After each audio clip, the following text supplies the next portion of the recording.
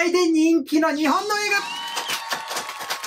ランキング持ってきました。画素晴らしいちょっと気になる。ちょっと事前に言っておきたいのがうん。IMBD っていう基準があるんだけど、うんそれが Amazon の子会社がやってるのあーだから割とアメリカ映画が人気でなるほど。ちょっとあれがあるんだね。そう、あとなんかちょっと古い映画がなんかちょっと優位だったりとか、あ、そうなんだ。いろんな人種が出てたりとか、あー例えばね、評価しにくいもんね、昔のやつ。そう、なんか評価が難しくて、なんか一応その評価の点数があるんだけど、10点満点中なの。うん。で、8点以上がもう名作じゃないけど、そんな感じで言われてるんだ。そうそう結構すごいみたいな言われてる、あ一応世界的な映画の基準とされてはいるんだけど、まあなんていうの？まあ、正しくは、それが絶対的な性ってわけじゃないって感じ、ね。そうそうそうそうそう。それの評価が高いからといって、みんながみんな知ってるっていうわけでもなく、ね。うん。映画好きの人だったら知ってたりするだろうな、ねみたいな映画とかもあったり。興行収入は関係ない。一応関係ないらしい。なので私も結構、それって思うような映画もあったし、はいはい。あーですよねーっていうのもあっおー、じゃあそういうのも含めてちょっと今回はやた。はいっ。てみましょう。納得いかない人は IMBD に文句を言ってください。K には文句言わない。あらかじめね。あらかじめ言っとく。ちなみに、うん IMDB のトップ、もううん一番いいとされてる映画は、うんショーシャンク。あー、いいね。なんかちょっと、ちょっと難しいリアクションが。な。そう。いいんだけどね。いいんだけど、ああ、それ一番なんだ、みたいね、な。あ、でもそういうか、まあでも確かに有名だね。そう、確かに、うんああ、なるほどっていう感じで、なんかそういう感じで思っていただければ、はい、なのでわかりまし、た。本当に一般的にうんみんながみんな好きかどうかは何とも言えないけど、はい。一応有名映画が多い。なるほどね。でも俺はね、ちょっと期待してる映画があるんだ。そうなの？ジブリ。ああ、ちょっと、ジブリはね、ちょっと個人的にすごい好きなのがああ、素晴らしい。入れーって思ってる。ということで、14位という微妙なところから、は微妙なところから14位。い。それこそジブリの有名なトトロです。トトロトトロさすがジブリ。でも14位なんだね。そ点数はいくらなの？う。点数なんかお金みたいに言っちゃっいくらって言うな。た。お金みたいに言っちゃっ8.1。た。さすが。名作。名作。うん、すごい。多分だけど、うんまあ日本の文化がすごいさ、ちょっと昔の日本の文化がめっちゃ入ってるじゃん。そうだね。そういうところの分かりにくい部分が結構多いかなって思うのと、はいはいはい。すごいよく言われるのが、うんジブリのロゴじゃん、トトロって。うんうん。ジブリと言ったらトトロのさ顔が出てくるじゃん,、うんどういうストーリーだろはいうみたいな、それこそミッキーがみたいな、うんいろんなことをしてるじゃないけど、はいはい。意外と平和みたいなああ、なるほどね。すごい日常系でびっくりする人もいたりするんだけど、うん全体的には周りでもなんかすごい評価高かったど私はなんてるすごい可愛くて、うんすごい平和で、うんとにかく可愛いもう今となっては、もうトトロはうんただのこうキャラじゃなくて、うんぬいぐるみとしてもいるしああ、なるほどね。でなんならトイ・ストーリーにも出てるからねあ、そうだね。一瞬だけ出てるもんね。そう。っていうくらい、もう世界的に有名な可愛いキャラとされてる。なるほどね。まあそういうのも含めて、ここの順位にいるってわけだね。うん、多分。じゃあ次行きましょう。はい。13位。はい東京物語だと思う。東京ストーリー。うん。知らないな、俺。そう、わかんないんだけど何年の。映画？1953年。おー。白黒映画でございます。おー点数は？点数は8.2です。高いね。そちょっとわかんないけど、なんか書いてある説明。う。うん。うん書いてあるそれを読んで終わりにしましょう。そう。老夫婦が小さい村から東京に引っ越すんだって。うん大人になった自分の子供たちと一緒に時間を過ごすみたいな。でも、そこに行ったら自分の子供たちはもう自分たちの人生でいろいろ大変で忙しくて、うんあんまりなんか一緒になんか過ごしてくれないみたいな。うんうん息子が亡くなっちゃってるらしいの。うんでその息子の奥さん、だから今は独り身の奥さんがすごい面倒を見てくれているっていう話らしい。なんか日常系だけど、ちょっとぐちゃぐちゃっとしてる感じなんだね。そう。すごいそういう、なんかドロドロしそうな話なのに、うんうん家族のいろんな面を見せるのが素晴らしいって書いてある。お年寄りにもすごい声を上げるじゃないけど、お年寄りの気持ちをすごい再現できてるとか、自分の子供たちがもう大人になった後の、うんその老夫婦の考え方とか気持ちとかを出してるっていう全体を描いてるっていう意味で高評価っていうのもあるんだね。みたいです。ちょっと名作を知らなかったの残念だけど。はい。すいません。見たことないです なかっ。た。うん。次行きましょう。ちなみに K は多分あんまり知らないのが多いかな。あ、本当。次。はい、次、羅生門。あー芥川さんはい、何年の映画？かなり古くない？1950年。あ古いよね。古い。評価は？えー、8.2。高い。高い。うん、羅生門映画あったんだ。知らなかったわ。俺、それ、本でしか読んだことなかえ、ったわ。マジ、ほんとそれ。え、なんか私もうん教科書で読んだイメージしかないし、白黒映画であったとだっみたい怖いよ、めっちゃ。な。怖いよ、見たくない、あんまり。おばあさんとかめっちゃ怖いじゃえ、ん。めっちゃ怖いな。んて書いてある？侍が出てるのに、うん剣でこう戦うシーンとかっていうよりも、キャラクタはいはいはい。ーにすごいフォーカスしてて、面白いっていうのとう、ん、おばあさん怖すぎるとかない。全部のキャラクターうがん、演技が神ってるって書いてある。へえ、じゃあその時出てる人がすごかったんだ。うん。本当に、どのキャラクターにもすごい引き込まれるらしい。どのキャラって、羅生門でそんなキャラ出てたっけ？うん私も、そその映画知らないからわかんないけど。なんかそんな人いたっけ？って羅。生門って本だとさ、続編みたいなのがいっぱいあるんだよ。ああね、そうそうそう。あるある。それも全部含めてるのかな？ちょっとわかんないね。ちょっと見たことないから、うんわからなくて。推測ですが、わかんないです。すいません、なんか全然分かってないくせに話してて。でも、うんなんかすごい引き込まれるらしいですよ。主人公とおばあさんとカラスぐらいしか出てこないっていう。私もそのイメージない。なんか、わかんないけど。おばあさんに会う前に村人とかに会うのかあー A とか B とかね。わかんわないけど。じゃあ次行きましょう。はい、次。うん11位、はい。用心棒。知らないな何年の映画？1961年。本当にあれなんだね。昔の映画が多いんだうんね。これもうん。白黒映画です。ああ、そうなんだ。評価は？評価は8.2。同じく。あ同じなんだねと一緒です。名前のない浪人がうん村にたどり着いて、うん。争ってる両家のボディーガードになるんだって。っていう話で、うんアメリカうのん西部劇の映画とかにもすごい影響を与えた映画にされてるんだって。名作があるね。うん。いわゆるアクション、コメディとか、うんうん。こういろんなものが入り混ざったストーリーらしいです。私も知らなかっ知らなかった。全然知らない。た。そうなんだ今に影響を与えてるんだろうね、こういう映画がね。らしいですよ。10位、ここから10位。ラン。キャン。多分なんだけど、なんか乱闘とかの乱と思われる。なるほどね。英語だと ran って書いてあるから。ああ、そのまま普通にね。うん、多分、な、何年の映画？これは1985年。まだ生まれてないもん。でもだいぶ近づいてきたね。近づいてきた。あ そういうランキングじゃないけど。カラー映画にあ、カラーなった。色がついた。色がついに。評価は？ついに色がついた。これも8.2です。あ、これも8.2なんだね。黒澤明の映画だって。ああ、さすが。名監督。うん。で、シェイクスピアのうん。キングレアっていうお話に基づいてるらしくて、息子に自分の王国をあげるみたいな、こういうストーリーらしいでい。す。キングレア？キングリアだ。リア。うん。リア王。日本語だとリア王。あリア王かリア王。そうそう、リア王。そうだそうだ。ごめんなさい。ちょっと日本語の名前と英語の名前わかんなくなって、戦国系じゃないけど、日本に 日本に落としてる。そう、日本にしてうん。描いてるらしい。えー、ちょっと見てみたいな、そしたら。ねうん。どんな評価黒澤明の、うんなんか最後の作品なのかな、アカデミー賞の一番いい監督としてノミネートされた作品なんだってさ。すが。素晴らしい作品ってそ感じだう。だから多分相対的に、なんかもう誰が見てもおーってなる作品。まあ、世界観も面白いよね。そのヨーロッパの話を日本に入れるってさ、そうだね。発想がなくない、確かに。特にその時代ね、うん。CM じゃないけど、う載ってるんだけど、うんもうなんかすごい気になるよ。すごい面白そうだもんね。なんか、おじいがこっちを見つめてるけど。やめろ、それ。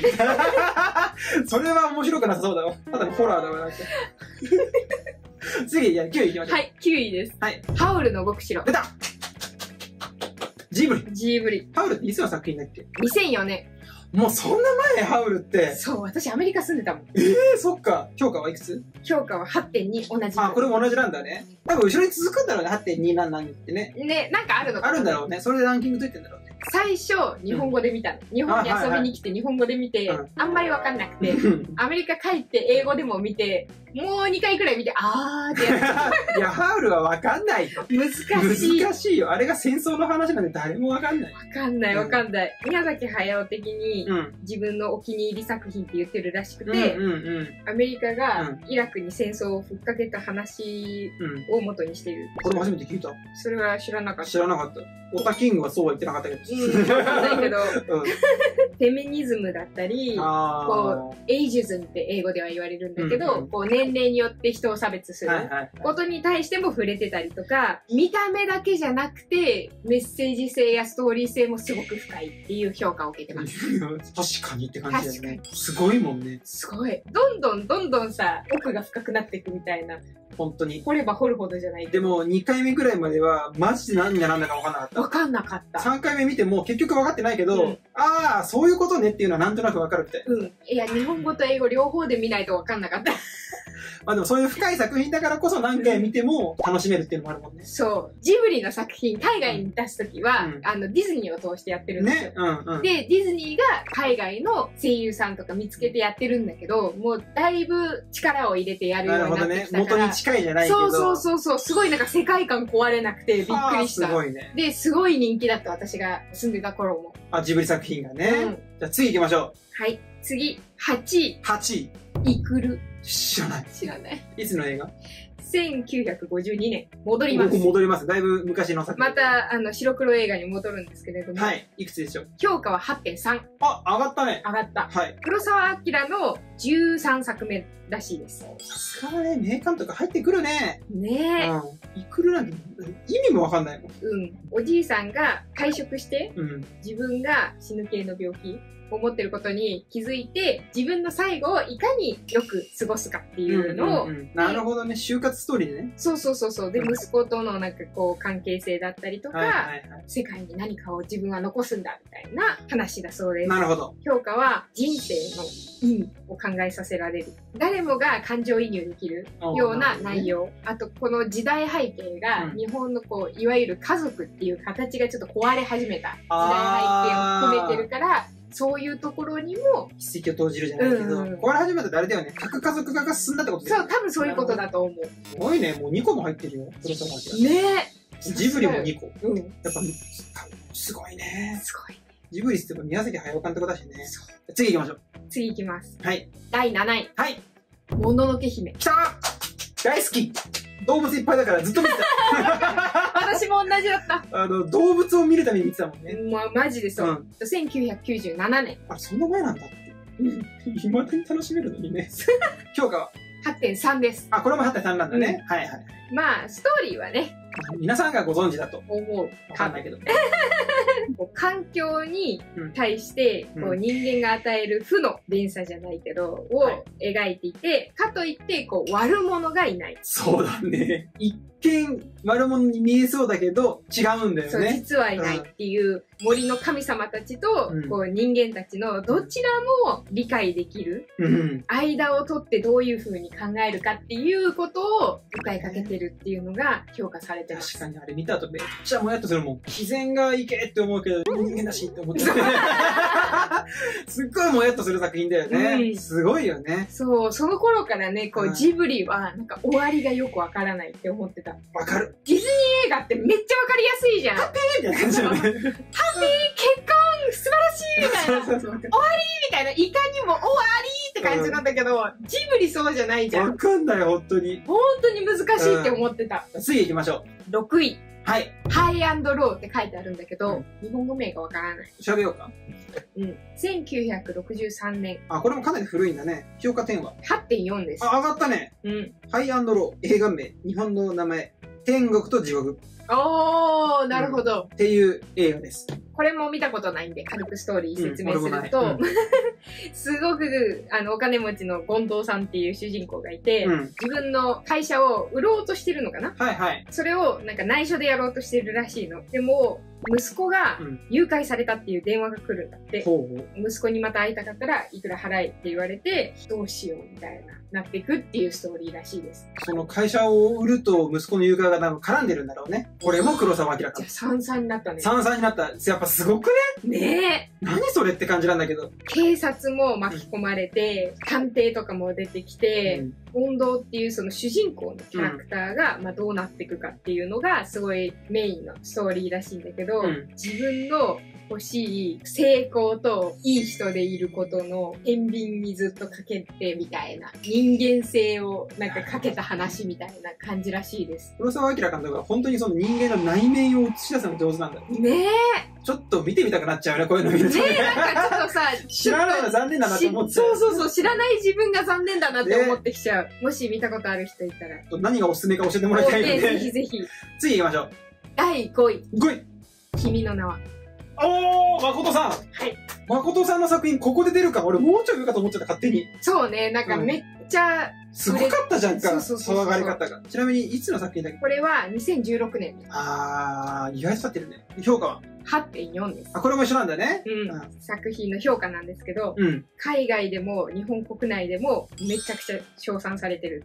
美しくアニメーションされていて、うんストーリーの中では若いカップルっていうか、うんうん。初恋じゃないけど、若者の恋を上手に描きながら、思春期のはいはい。もやっとする部分とかをすごい上手にナビゲーションしてる。なるほどね。あれは書いてない曲と映像がバッチリとか、そういうのないあそこは書いてのなないい。俺が一番好きなのに。それを言うのは、ちょっとマニアックですね。ストーリーラインをみんななんか評価されてるのに、そこを評曲価と映像のマッチングとかないんだ。うん、そこすじゃない。ごい力入れてるから。じまあね、でもそこじゃないじゃん。なんか一般的に。ゃあ次行きましょう。第4位、4位ホタルの墓。おー入ってくるんだ。うんいつの作品ホタルの墓？1988年。あ、そんな前なんだね。ね。ジブリではあるね。監督はちょっと違うけど。そう。高畑勲監督。点数うはん。8.5あ、ここで上がるのか。上がりました。はいはいはい。で、評価は？美しくもあり、怖くもあるみたいな。ーん。戦争がどういう風に市民にどういう影響を与えたかっていうのを現実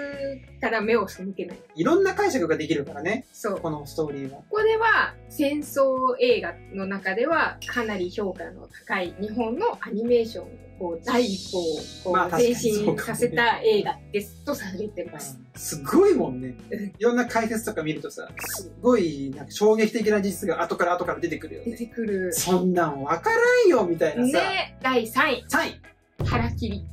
なんかすっげえ怖いタイトルなんだけど。ね、いつの？作品1962年、また白黒に戻りますよあ、。白黒なんだね。評価は？8.6です。あまた上がるんだ。ね、どういう内容なの？ちょっと年を置いた侍がうん将軍の下で切腹をさせてくださいっていうらしいの。なんでそれをしたいのかっていう説明がストーリーらしい。人間内面性をこう映し出すんだろうね。日本語では、切腹。あ監督は小林正樹さん。武士社会の残虐性とかの要素もふんだんに入れ込んでるんだ。て。で、侍精神アンチテーゼが込められた作品。だけど監督の意図はそっちだったんだって。侍精神へのアンチだからうん、考えてたんだけど、海外の映画表はその残虐性を古典的なその美として、美学として評価したって書いてある。一応これでは、侍の生き方についての批判うんうんうんであり、せっかうんく土地が増えたりとか、うん。うん。平和になったりしても、侍はこう生きる意味がなくなっていっちゃうみたいな。そうだね。うん。で、そうすると、結果、腹切りをするみたいな。悲しい命を無駄にする行為みたいな。ああ。そういうのもちゃんとここでは評価してるんだね。そう。で一緒なんだね。そうだねのね。もしかしたら流行った当時は、ああ、人そうが多かか。今となっては、それをちゃんと理解して。ね。次行きましょう。第2位です。第2位。はい。これも日本語名一緒なのかわかんないんだけど、うん7人の侍。ああ、でも7人の侍はそうかも。あ、本当、うん合ってる？いくつの、いきいつの映画 ?1954 年。これだけはタイトルは知ってる。うん。内容は全然知らないけど、評価は？8.6です。ああ、高いね。高い。うん。これも黒沢明です。何個目 ?5?4?4? 4じゃない？ジブリと並んだよ。うん。すごっ7人の侍がうん。ある村をうん守る話なんだって、あ、そうなんだ。7人とも違うこう背景から来てるっていうかこううん、バックグラウンドがあるんだ。はバックグラウンドがあって、いはい。村を守ることに対してうんそれぞれこう意味を感じてるみたいな、世界に影響を与えたとされてる映画の中でもよく名前が出るらしくアメリカでも映画をそのまま作り直したっていうかアメリカバージョンがあってそうなんだ The。Magnificent Seven っていう名前でリリースされたらしいですへえ、すごいね。多分アメリカの設定で同じストーリーを作ったらしいです。全員で一つの目標をみたいな、はいはいはい。そういうストーリーがもういろん。な映画とかにも影響を与えて、未だにアベンジャーズとか、現代の映画にも影響を与えてるっていう風にでも確かに、それぞれ違うところから来たのに、うん。一体となってみん。なで一つの目標ってすごい日本っぽいよね。日本っぽいね。今ってそういうの増えてるしね。なん。か、ん。パッと思いつくだけで何個かあるもん。アメリカ映画でも増えてきてるし、そういうストーリー。もしかしたらこういうところから来てるのかもね。そうって思うとすごいよね。さすが名監督と言われるだけあるなんか理由が分かったわ。ね。じゃあ第1位です。1位です。はい。千と千尋の神隠し。きたー。じゃあ、宮崎駿さんも読んだ。うん。すごね。ーえ、何年だっけ、この作品って？2001年です。もうそんな前か。ね時間って経つの早いね。早いね。評価は？8.6。あー、これは8.6なんだ。うん、これはもううん K がアメリカに住んでる頃から爆発的に流行った。あー、もうその時から流行ってたんだ。もうアメリカでこんなに流行る日本の映画ってあるんだって思うくらいへー、そ爆んなに？発的だった。もうそれまでこうアニメとか、うんそもそも全く見ない子供たちとか結構周りに多かったのに、はいはいそれは見るみたいな。へー、そんなに流行ったんだ。めっちゃ流行ってた。どこが評価されたんだろうね。まず、アニメーションがすごいっていうのと、うん。パラレルワールドに入っていく千尋を追って、うん。想像もつかないような変わったキャラクターとか設定、はいはいすごいとにかく想像力がすごいっていうのと、まあアカデミー賞も取ったし未だに世界で唯一の英語じゃないアカデミー賞を取ったアニメーション映画らしいですへー、すごー。今は違うかもしれないけど基本的にはないとされてる。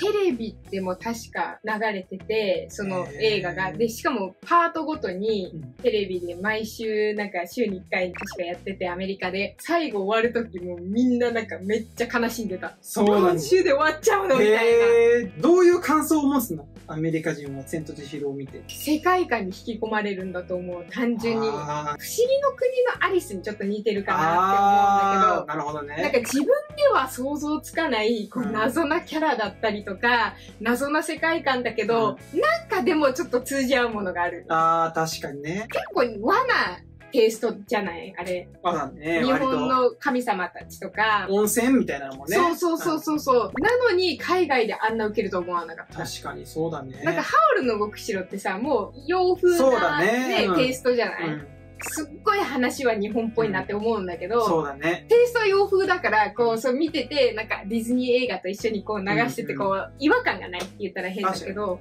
千と千尋ってもう完全になんか日本のストーリーで、うん日本の世界観で、ちょっと洋風な格好してる人もいるけど、うんすごい受けたの面白いなと思うし、そう未だに素晴らしいと思うし、宮崎駿監督4作品。うん、黒澤明監督4作品。うん、まあ、ジブリつながりで、高畑勲監督1。うん。14中9個が同じグループじゃないか。うんわかる同じグループっていうか、なんかうん言いたい、言いたいことわかる。すごくない？いや、すごい。その人たちが映画館作ってる。うん、やっぱ天才いるんだなって思うよね。その世界にも認められる天才ってすごいよね。ねね。見てみたい、普通に。普通に気になった。うんなんかこう白黒映画とかも面白そうだなって思うし7人の侍見てみたい。ああね、うん。それも面白そう。ということでした。気になったので、もしおすすめの映画があったら皆さんコメント欄で教えてください。はい。ちょっと K は日本の映画疎いところがあるので。僕もです。私もでございます。ということで今回以上になります。